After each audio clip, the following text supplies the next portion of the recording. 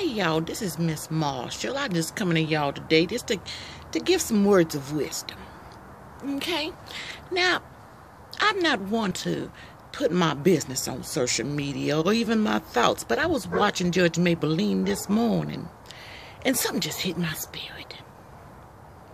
This little girl about eighth grade, you know, she came on there and she said that there was this little boy that all the girls liked at the school. And one day while she was passing by on her bike, he asked her if he could ride it, and she said, um, you can ride it, but as long as you can ride up the street and bring it right back. That little boy got on that bike and took off on it and said, look, it's my bike now. And stole a little bike. You understand what I'm saying? So now they're in Judge Mablean court. Parents just just scribbling and talking amongst each other, you know, trying to figure out what's going on. Now, my thing is this. As the little girl said, he was popular. She had a crush on him.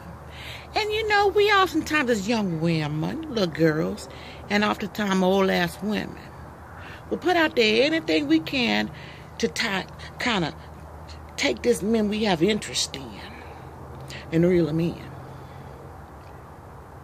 And all the while, he ain't got no interest in you, but he gonna take what you provide to him. That's what I call low-hanging fruit. Don't you be no low-hanging fruit. You don't know what low-hanging fruit is? Okay, let me explain it to you. Low-hanging fruit.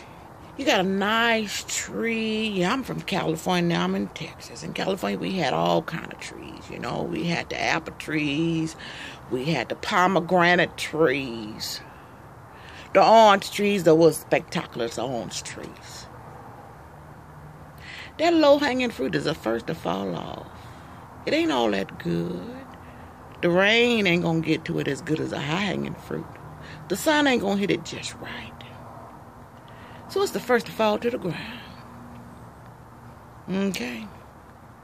That's what all the creepy crawlers, the worms, the lizards, the ants. That's what they get to, the low hanging fruit. Now, that high hanging fruit ain't easy to access. Okay? That's the birds and, and, and, and the squirrels that take the time to get up there to get that high hanging fruit. The high hanging fruit is very delectable.